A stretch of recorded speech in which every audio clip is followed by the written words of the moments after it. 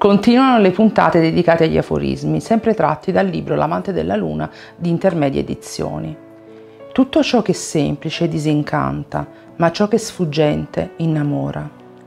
Un pezzo d'anima è sepolto e un'altra parte fluttua tra le nuvole oscure. Per ogni stella che cade muore un attimo.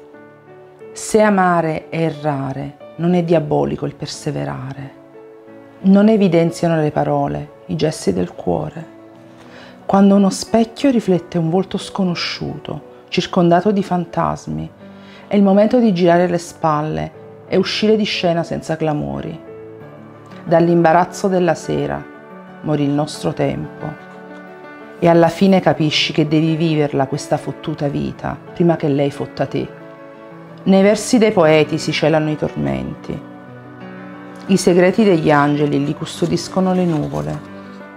Quando cominciano a tremare le fondamenta del castello, è il momento di uscire dalle segrete.